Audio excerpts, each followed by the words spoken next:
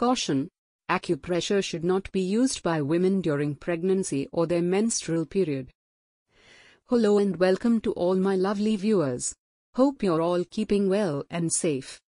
In this video, I'll show which acupressure point can be used to treat angina, chest pain, at home for free, without any medication and side effects. If you are new here, hit the subscribe button and press the bell icon to get notified when a new video is uploaded. Reduced blood supply to the heart can result in a type of chest pain called angina. Frequently, this pain also spreads to the neck, shoulders, and arms. Angina is a sign of coronary artery disease. It causes pressure, heaviness, tightness, squeezing, or pain in the chest, and it may start suddenly or gradually.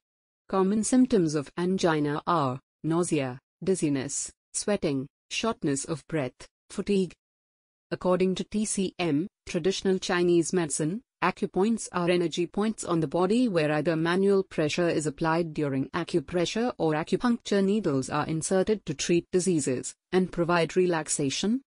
Do not substitute this treatment in place of any medication or therapy recommended by your healthcare professional.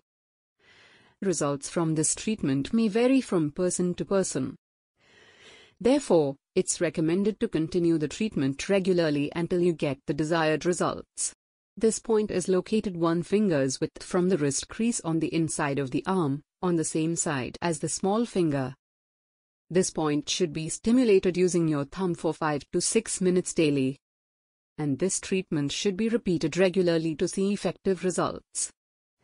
Thank you for watching and all the best with this treatment.